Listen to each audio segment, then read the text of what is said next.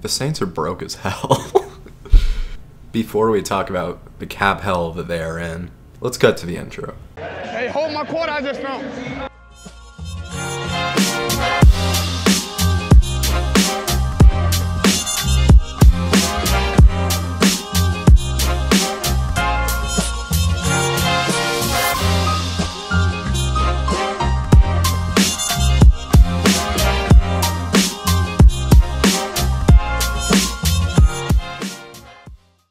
What's up, y'all? Hope you're having a wonderful day, because the New Orleans Saints surely are not.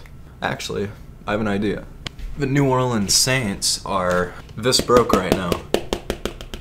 Let's get that out of there. So the Saints are $25 million over the cap. This is after they cut Janoris Jenkins and Emmanuel Sanders, all those guys. They are broke.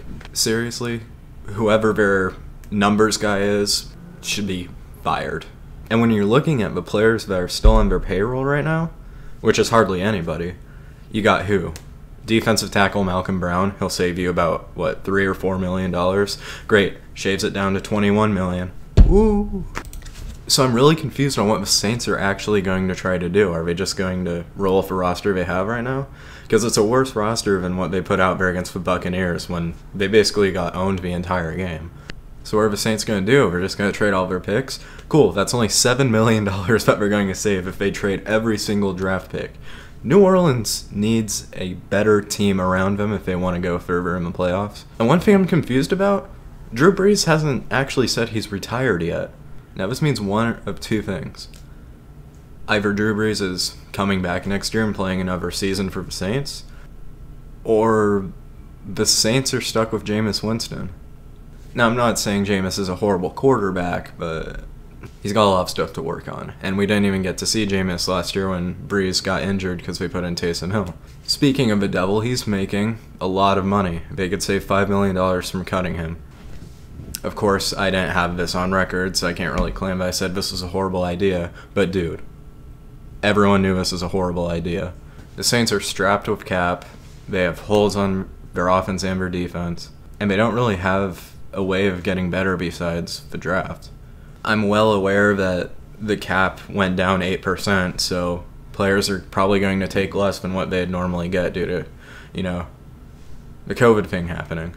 But even with that, the Saints still can't really do that much. Think about it. Under offense, they have Michael Thomas at receiver, that's about it. Deonte Harris, maybe. Jared Cook is gone. Josh Hill is gone who's for tight end going to be? Is he just going to be some guy who's probably going to be a nobody?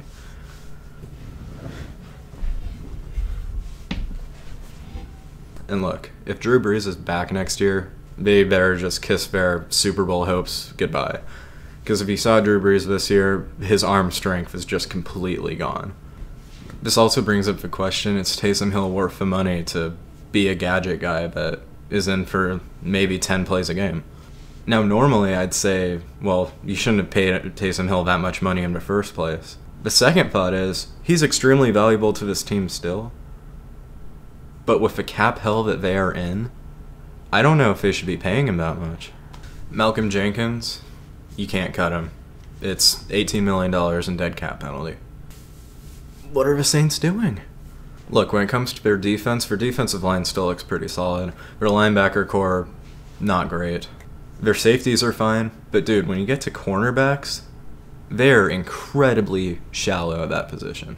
They can't really do anything else unless they move on from a guy like Ryan Ramczyk or Marcus Lattimore, who are really important to their playoff hopes. This may be an unpopular opinion, but signing Alvin Kamara to a five year, $75 million deal, I don't think that's a great move. Now, if you're a team that actually has money, that's solid, but running backs, they come and go a lot. I understand how good Alvin Kamara is and how important he is to the Saints.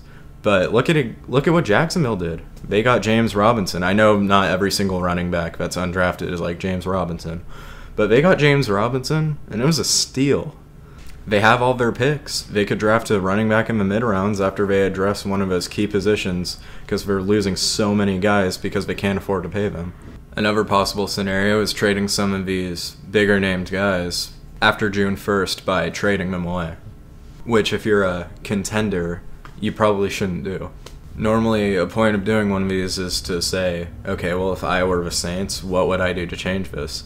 But before June 1st, they're pretty much stuck. Unless they start just shedding off every single contract that they have where they'll get positive money back from cutting that player, there's nothing they can do. And even after June, the only thing they really can do is just move on from bigger named players. Look, the Saints are a great team even if they move some of these guys, they could probably still be a playoff team. But their Super Bowl contention window is basically shut out unless they make something major happen. If Drew Brees is back, they're not winning a Super Bowl.